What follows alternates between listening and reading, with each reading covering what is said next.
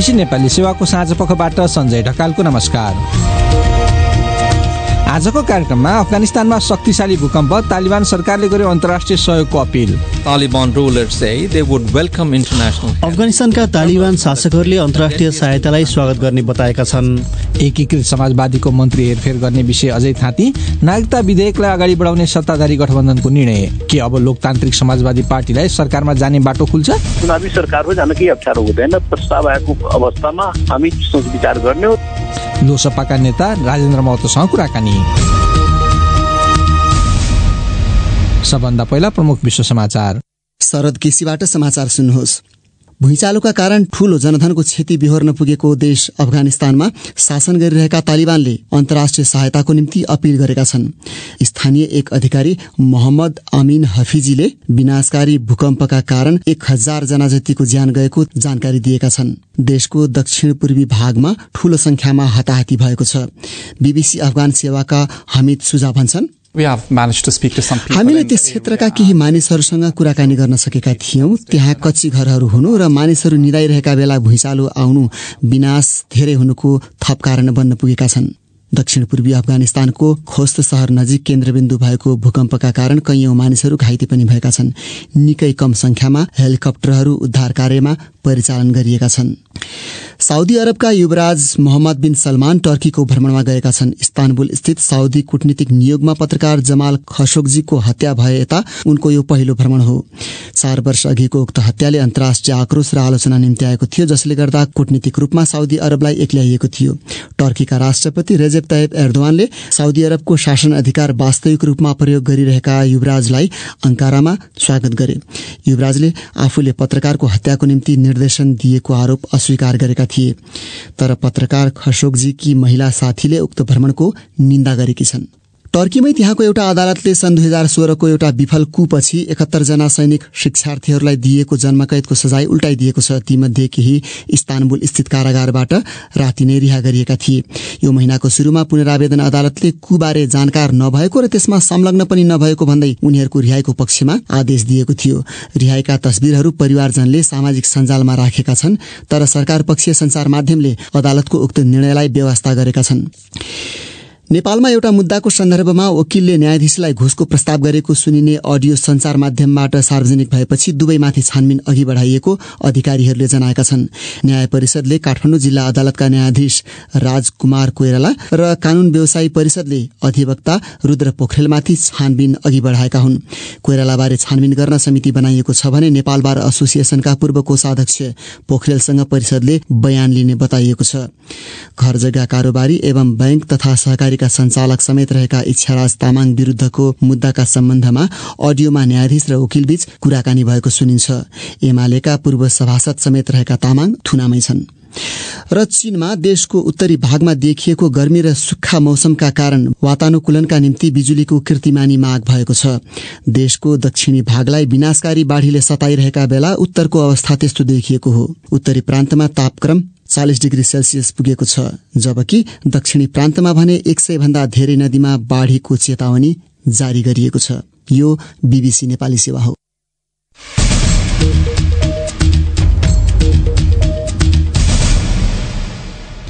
साँझ पखमा यहाँलाई स्वागत छ। अफगानिस्तानमा दुई दशक यता आएको सबभन्दा घातक भूकम्पका कारण करिब एक हजार जनाको मृत्यु भएको र सयौं मानिस घाइते भएको तालिबान सरकारका अधिकारीहरूले बताएका छन्। देशको दक्षिण पूर्वी भागबाट भूकम्पका विध्वंसका खबरहरू आइरहँदा अफगान तालिबानले अन्तर्राष्ट्रिय सहायताको आह्वान गरेको छ। अमेरिकी भौगर्भिक अध्ययन निकाय यूएसजीएसका अनुसार उक्त भूकम्प छ दशमलव एक म्याग्निच्युडको थियो र खोस्त नगर नजिक जमीनभन्दा एकाउन्न किलोमिटर मुनि त्यसको केन्द्र थियो। बीबीसी विवरणमा आधारित रिपोर्ट प्रदीप बस्यालबाट उक्त भूकम्प घरमा धेरै मानिसहरू सुतिरहेका बेला स्थानीय समय अनुसार गए राति साढे एक बजे लगत्तै गएको थियो। पाक्तिका प्रान्तबाट प्राप्त तस्विरहरूमा पहिरो गएको र कच्ची घरहरू भत्किएको देखिन्छ। उद्धारकर्ताहरू त्यहाँ घाइतेको उपचारमा दौडधुप गरिरहेका देखिन्छन्। सामाजिक सञ्जालमा प्रेषित तस्विरहरूमा स्ट्रेचर भग्नावशेषहरू र भत्किएका घरहरूबाट घाइते ओसारिएको देखिएको थियो। दुर्गम स्थानहरूमा हेलिकप्टर प्रयोग गरेर घाइतेहरूलाई अस्पताल लगिएको छ। तालिबान नेता हिबतुल्ला अखुनजादाले भूकम्प भूकम्पका कारण सयौं घरहरू भत्किएको र मृतकको संख्या बढ्न सक्ने बताएका छन्। भूकम्पको केन्द्रबिन्दु दक्षिण पूर्वी अफगानिस्तानको खोत सहरभन्दा झण्डै चौवालिस किलोमिटर टाढा रहेको बताइएको छ। बीबीसीका अनबरासन इतिराजन भन्छन् अफगानिस्तानका तालिबान शासकहरूले अन्तर्राष्ट्रिय सहायतालाई स्वागत गर्ने बताएका छन्। दुई दशकमा आएको उक्त विनाशकारी भूकम्पको झट्का राजधानी काबुल पाकिस्तान र भारतसम्म महसुस गरिएको थियो। बीबीसी संवाददाताको भनाई सरकारका प्रवक्ता बिलाल करिमीले ट्विटरमा पाक्तिका प्रान्तका चार जिल्लाहरूमा शक्तिशाली भूकम्पले सयौं मानिसहरूको ज्यान लिनुका साथै दर्जनौ घरहरू ध्वस्त भएको लेखेका छन्। उनले भनेका छन् उक्त क्षेत्रमा थप विपद आउन नदिनका लागि तत्काल उद्धार टोली पठाउन हामी दाताहरूलाई आग्रह गर्छौं। काबुल स्थित युनिसेफ कार्यालयका एक अधिकारीले समेत तालिबानले अन्तर्राष्ट्रिय सहायताका लागि आग्रह गरेको बताएका छन्। युकेका अफगानिस्तान मामिला सम्बन्धी विशेष प्रतिनिधि नाइजल केसीले आफ्नो देश संयुक्त राष्ट्रसंघसँग सम्पर्कमा रहेको भन्दै अन्तर्राष्ट्रिय प्रयासमा सघाउन तयार रहेको बताएका छन्। दशकौंको द्वन्दले अफगानिस्तानमा भूकम्प र प्राकृतिक विपद प्रतिरोधी पूर्वाधार सुधार गर्न कठिन बनाएको छ। अब देशभित्रकै केही प्रसंगहरू। माधव कुमार नेपाल नेतृत्वको नेकपा एकीकृत समाजवादीको मन्त्रीहरूको टोली परिवर्तन सम्बन्धी विषयमा बुधबार सत्ताधारी गठबन्धनको बैठकमा कुरै नउठेको सहभागीहरूले बताएका छन्। बैठक अघि उक्त दलका वरिष्ठ नेता तथा पूर्व प्रधानमन्त्री झलनाथ खनालले यसबारे थप आलटाल नगर्न सरकारलाई चेतावनी दिएका थिए। एक रिपोर्ट। जेठ तेइस गते बसेको सत्ताधारी गठबन्धनको बैठकमै एकीकृत समाजवादीले आफ्ना मन्त्री हेरफेर प्रस्ताव गरे पनि सो बैठकमा प्रधानमन्त्री शेरबहादुर देउवाले बजेटमा छलफल चलिरहेकाले तत्काल मन्त्री हेरफेर गर्न नहुने बताएको विवरण आएका थिए। आज बुधबार उक्त दलको सचिवालयको बैठकले यसबारे प्रश्न कुरा राख्ने निर्णय गरेको उक्त दलका वरिष्ठ नेता झलनाथ खनालले दिउँसो पत्रकारहरूलाई बताएका थिए। अहिले जो मन्त्री मण्डलमा हाम्रो टिमलाई बदल्ने भनेर हामीले जो निर्णय गरेका छौँ सरकारले अहिलेसम्म किन कार्यान्वयन गर्न सकेन र तुरुन्तै गर्नु पर्यो भनेर चाहिँ नि हामीले त्यो पनि निर्णय गरेका छौँ र आज हाम्रो पार्टीको अध्यक्ष उहाँहरूसँग कुराकानी गर्न जानुभएको छ त्यही निर्णयलाई लिएर। उनले भने जस्तै त्यसको केही बेरमा बालुवाटारमा सत्ताधारी गठबन्धनका नेताहरूको बैठक बसेको थियो तर बाहिर निस्किएपछि सरकारका प्रवक्ता एवं नेपाली कांग्रेसका नेता ज्ञानेन्द्र बहादुर कार्कीले उक्त विषय बैठकको एजेन्डै नभएको प्रतिक्रिया दिएका थिए। सो बैठकमा सहभागी नेकपा एकीकृत समाजवादीका महासचिव बेदुराम भूषाललाई केही बेर अघि बीबीसीले मन्त्रीमण्डलमा तपाईँहरूको पार्टीका मन्त्री परिवर्तन बारे बैठकमा के कुरा भयो भनेर सोद्धा उनको जवाफ थियो। त्यस सम्बन्धी विषय थिएन। बैठकमा चाहिँ खास गरिकन नागरिकता विधेयक अगाडि बढाउने सन्दर्भमा छलफल थियो। ए यो विषय उठेन? त्यो विषय उठेन अनि त्यो बैठक हुनुभन्दा केही बेर अगाडि चाहिँ झलनाथ खनालजीले बोल्दाखेरि चाहिँ यो यो नै विषय प्रमुख रूपमा उठाइन्छ भनेर भन्दै हुनुहुन्थ्यो। यसअघि एकीकृत समाजवादीका पाँच मध्ये चार मन्त्री हेरफेर र एकको जिम्मेवारी परिवर्तन हुने विवरण आएका थिए। तर यतिखेर मन्त्री परिवर्तन गर्दा अन्य दलहरूमा पनि दबाव पर्ने बताइँदै गर्दा आज बसेको गठबन्धनको बैठकले त्यसमा छलफल नगरी बरु नागरिकता विधेयक अघि बढाउने बारे कुराकानी गरेको सहभागी नेताहरूले बताएका छन्।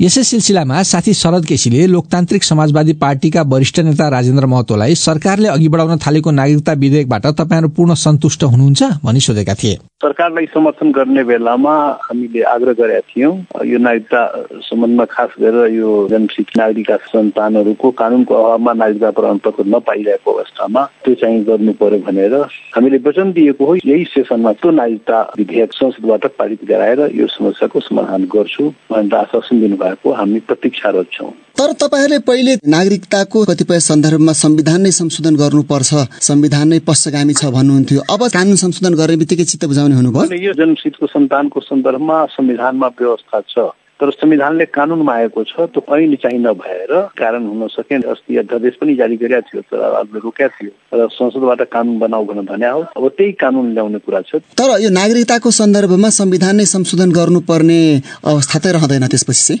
त्यो चाहिँ यो जनशिक्षको नागरिकको सन्तानको सन्दर्भमा संविधानमा व्यवस्था छ कानुन बनाउनु पर्ने थियो त्यो कानुन बनाउने काम गर भने भन्या हो त्यो अवश्य गर्छु भने भन्या चाहिँ हेरौँ। कानून पास भयो भने तपाईँहरूलाई सरकारमा जाने बाटो पनि खुल्छ? सरकारको सहभागिता सन्दर्भमा अहिलेसम्म त्यस्तो केही कुरा भएको छैन सरकारको तर्फबाट। त्यस्तो केही कुरा आएको छैन। त्यस्तो प्रस्ताव आएपछि अनि त्यसपछि पार्टीले छलफल गर्छ नि त। विगतमा केपी शर्मा ओलीको सरकारमा जानुभयो लामो समय नबसे पनि लामो समयसम्म समर्थन नै गर्नुभएको थियो। तपाईँहरू सरकार नै हुँदा पनि हुन नसकेको काम गर्ने सरकारलाई त त्यहीँ गएर समर्थन गर्नुपर्ने होला नि त। हो बिल्कुल बिल्कुल ठिक छ। त्यो हामीले त केपी ओलीलाई पनि चुनावी सरकार थियो। माग मुद्दाको सन्दर्भमा हामीले समर्थन पनि गर्यौँ सहयोग सहभागी पनि भयौँ। यो एउटा नागरिकता सम्बन्धी थियो। अर्को मधेस आन्दोलनका कार्यकर्तामाथि झुट्टा मुद्दाहरू लगाइएको छ। त्यो चाहिँ एक सौ उन्चालिस जनाको मुद्दाहरू फिर्ता गराइएको थियो केपी ओलीको सरकारको समयमा। बाँकी मुद्दाहरू पनि छन्। त्यसमा पनि प्रधानमन्त्रीले यो प्रक्रिया मिलाएर गर्छु भनेर भन्नुभएको छ। यसमा पनि होमवर्क भइरहेको छ। तपाईँले सरकारमा जाने बारे के कुरा गरेका छैन सरकारले भन्नुभयो सरकार जाने कुरा केही यो मिडियामा व्यापक रूपमा आइरहेको छ। कहाँ? प्रधानमन्त्रीले तपाईँलाई दुईटा मन्त्रालय दिन्छु भनेर मिडियामा मात्रै हो। सरकारको तर्फबाट त्यस्तो कुनै पनि प्रस्ताव आएको छैन। हाम्रो माग मुद्दाको लागि पटक पटक हामी सम्झाउन गएको हो। पटक पटक भेट्न पनि खोज्या भोलि पनि अब यो किन ढिलो गरिरह? भोलि पनि हामी टाइम मागिरहेछौँ यो गर्ने हो कि नगर्ने हो? नगर्ने हो भने फेरि हामी सोच्नुपर्छ। किन पार्लियामेन्ट फेरि सकिएला? नगर्ला भन्ने त एउटा चिन्ता छ। त्यसैले त्यो चाहिँ सरकारलाई पटक पटक भेट्ने आफ्नो त्यो माग मुद्दाको लागि हो। सरकारको सम्बन्धमा अहिलेसम्म सरकारकै तर्फबाट कुनै प्रस्ताव आएको छैन। आयो भने त्यति बेला पार्टीले छलफल गरेर एउटा निष्कर्ष निकाल्ला निर्णय लिएला तर कम्तीमा नागरिकता विधेयक पारित गर्ने दिशामा अगाडि बढ्यो भने त तपाईँहरूलाई सरकारमा जान कुनै अप्ठ्यारो त छैन जान केही अप्ठ्यारो होइन। चुनावी सरकार हो जान केही अप्ठ्यारो हुँदैन। प्रस्ताव आएको अवस्थामा हामी सोच विचार गर्ने हो त्यसै कुनै जान सक्छ। पार्टी त्यही त्यो कुनै अप्ठ्यारो छैन। अब अन्त्यमा राजेन्द्रजी यो सरकारमा जाने सन्दर्भमा उपेन्द्र यादवजीसँग के कुरा भएको छ? एकता गरेरै भए पनि सँगै सरकारमा बस्ने भनेर कि? पार्टी उपेन्द्र यादवजी अब मिडियामा एकताको कुरा आएको छ तर उहाँको कुरामाथि भरोसै भएन। अस्ति पनि उहाँको पार्टी फुट्नु लाग्दाखेरि हामी रातारात एकता गरिदिएका थियौँ उहाँको पार्टी जोगाइदिएका थियौँ। तर पार्टी एकता भइसकेपछि उहाँ चाहिँ फेरि निर्वाचन आयोगमा दौडेर मुद्दा हालेर चाहिँ पार्टी विभाजन गराइदिनु हो। फेरि अहिले पनि उहाँको पार्टीमा गरोड भइरहेको छ सङ्कट छ भने सुन्या हो। अब विभाजनको तर्फ गइरहेको उहाँको पार्टी त्यसलाई फेरि जोगाउन हामीलाई एकता एकता कुरा गरे हो। त्यो बनावटी कुरा हो त्यसमा इमान्दारिता देखिएन। त्यसले हामीले भरोसै भएको छैन। के उहाँको कुरामाथि उनी थिए लोकतान्त्रिक समाजवादी पार्टीका नेता राजेन्द्र महतो साथी शरद केसीसँग कुरा गर्दै तपाई बीबीसी नेपाली सेवा सुनिरहनु भएको छ। बीबीसी नेपाली सेवाका सामग्रीहरू अब तपाईँ हाम्रो फेसबुक युट्युब इन्स्टाग्राम र ट्विटर अकाउन्टमा गएर पनि पढ्न र हेर्न सक्नुहुन्छ। हामी डिजिटल माध्यममा रहेका हाम्रा श्रोता पाठकहरूका लागि पनि बीबीसीका विविध सामग्रीहरू प्रस्तुत गर्ने प्रयासमा छौं। रेडियोलाई जस्तै हाम्रा डिजिटल सामग्रीहरू पनि तपाईँहरूले रुचाउनुहुन्छ होला भन्ने हामीले आशा राखेका छौं। अब आजको अन्तिम प्रसंग। कोविड उन्नाइसका कारण लगातार दुई वर्षसम्म रोकिएको यार्सा गुम्बा संकलन कार्य यस वर्षबाट खुला भएसँगै आफ्नो दैनिक गुजाराका लागि सहज हुने कर्णालीका स्थानीय बासिन्दाहरूले बताएका छन्। पढाइ खर्च र घर खर्च जुटाउन भन्दै कर्णालीका विभिन्न जिल्लाबाट महिला पुरूष स्कुले बालबालिका समेत उच्च भागमा रहेका पाटनहरूमा यार्सा गुम्बा संकलन गर्न जाने गर्छन्। सुनौ जुम्लाबाट कृष्णमाया उपाध्यायको रिपोर्ट। वर्षका बाह्र महिना मध्ये एक महिना उच्च हिमाली भेग स्थित यार्सा गुम्बा टिप्न जाँदा पढाइ खर्च जुटाउन सहज हुने गरेको बताउँछिन्। बाह्र कक्षामा अध्ययनरत मुगु स्थित मुगुम कार्मारङ गाउँपालिकाकी सोनाम तामाङ। आफ्नै छिमेकी जिल्ला डोल्पाको पाटनमा एक महिना बसेर यार्सा संकलन गर्दा भने जस्तो फाइदा हुने गरेको बताउँछन्।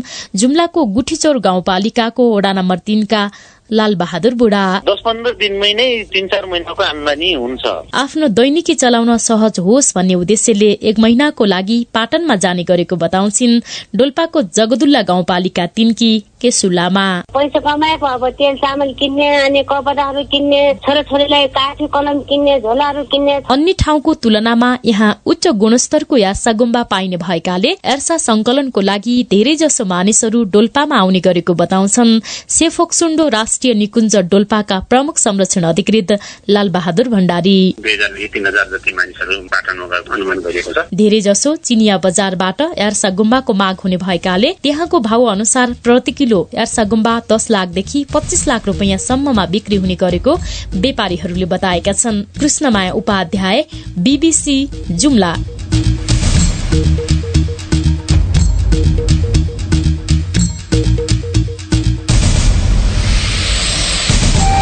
यसका साथै बीबीसी नेपाली सेवाको साँझ पख यहीँ समाप्त हुन्छ। भोलि बेलुकी पाउने नौ बजे हामी फेरि उपस्थित हुनेछौँ। त्यस बेलासम्मका लागि हामी सबैलाई बिदा दिनुहोस्। नमस्कार।